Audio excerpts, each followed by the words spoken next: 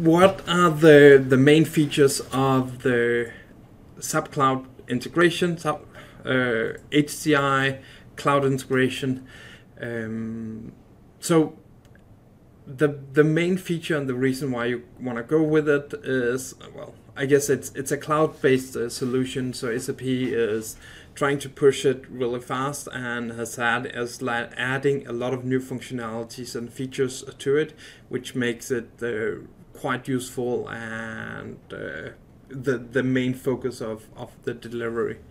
Um, the reason why you don't want to go with uh, with MuleSoft or anything other than uh, other cloud integration providers is um, cloud SAP Cloud integrations are able to, to reuse your, your message mappings, which is really useful um, in, in those cases because it yeah, it's just much more simple to, to have. You can take your mapping if you have a lot of EDIFACT map- mapping and stuff like that. You can migrate them, and that's a big part of the the integration uh, process. Um, it's a lot more flexible platform, so you can do a more complicated scenario a lot easier.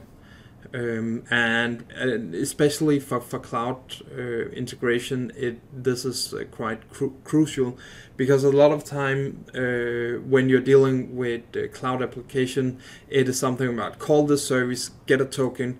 Uh, once you get the response back, call another service, and do like that. So so therefore, it is really useful to to use uh, the, the camel framework that they're using for it.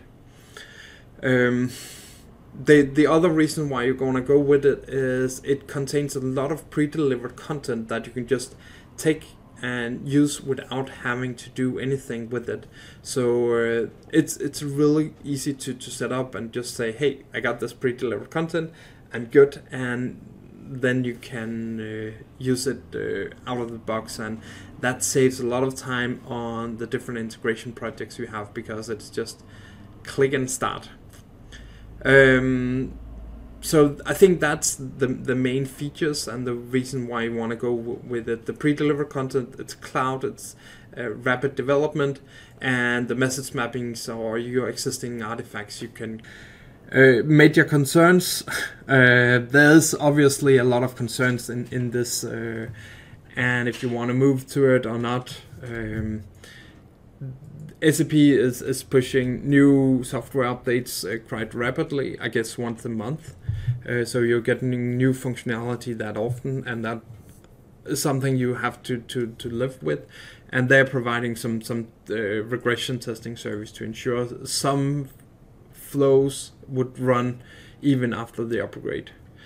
Um, then obviously it's a little immature platform um, that you don't really have the same flexibilities and, and capabilities uh, of it of it as as on, on PI. Uh, I I have heard some people say that it's a little slower to develop on than than a PI uh, for for some scenarios. And obviously, if you're doing on premise, you don't.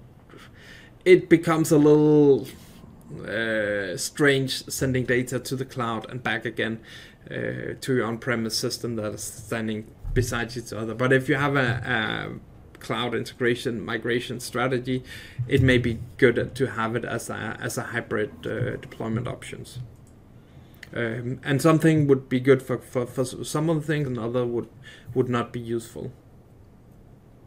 The the yeah obviously there's some adapters that is not there. Uh, you don't have a plain SOAP uh, plain HTTP uh, adapter. I think if you're using those things, they you need to log. No, you can do that.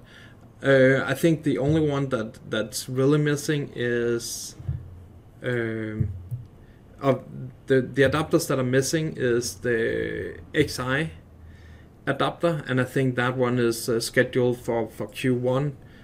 Um, JDBC adapter is also missing, as I recall it, and that is also in in the pipeline if it's not already there. Um, so.